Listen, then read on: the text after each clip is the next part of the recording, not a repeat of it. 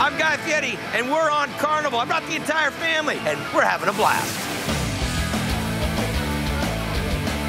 Have you guys had these burgers?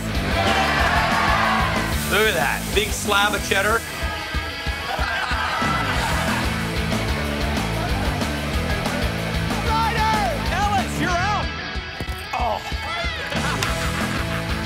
This is the newest concept we've done called Pig and Anchor. We have blue ribbon chicken, we have real deal brisket, we have beans, we have mac and cheese, pulled pork, you name it. Pitmaster, nicely done. Beautiful. Look at that bark on there. Thanks, guys. Good dudes. Bang for the buck, you can't beat a carnival cruise. You get to see three different beaches on one vacation.